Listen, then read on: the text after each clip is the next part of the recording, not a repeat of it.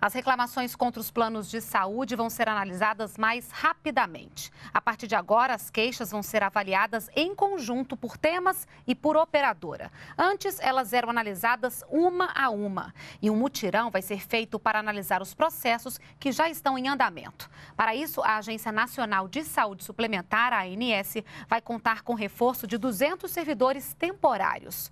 Hoje, quase 9 mil processos de reclamações estão em tramitação na ANS.